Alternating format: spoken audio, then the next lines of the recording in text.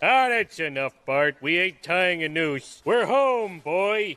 But this isn't Springfield.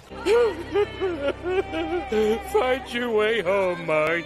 This is just like when I used to play baseball. How about you pick on someone your own size? Don't touch my pork chops! Yeah! Time to repent your sins. To chiddly chat, but tonight's bingo night. No bingo night!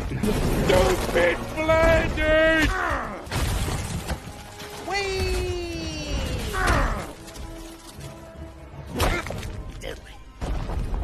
Throw whatever you have at me.